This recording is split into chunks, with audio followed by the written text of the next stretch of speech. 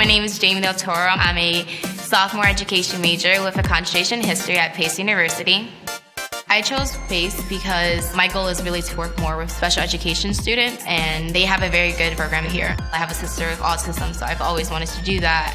Our sophomore year, we start using the Avatar Room, which is a computer program where you're allowed to teach a course with them before you start going out into the field.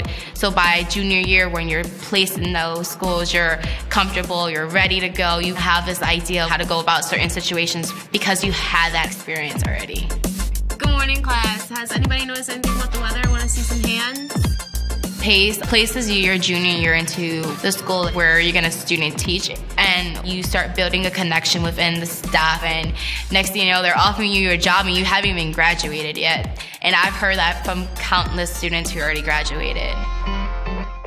I love PACE so much because it's very supportive. One of the organizations that definitely helped me on campus is FEA, which is Future Educator Association. FEA allows education majors to talk about the topics in our field. It has allowed me to take a little bit more of a leadership position. I was able to create what's going to be a new annual event called Teach Talk, which is an event centered around TED Talks brought to you by students and faculty from our campus. It's been nothing but a great opportunity at PACE, we have great resources, not just with the professors, but at the tutoring center, at the writing center, and Career Services has an internship fair every semester, and students go out and meet local organizations who are looking for internships, and that's where I met Latino U. They deal with a lot of first generation Hispanic families that don't know English, they don't understand FAFSA, so I go in and help them a lot with the back work of their FAFSA boot camps, which allows students to understand what FAFSA is.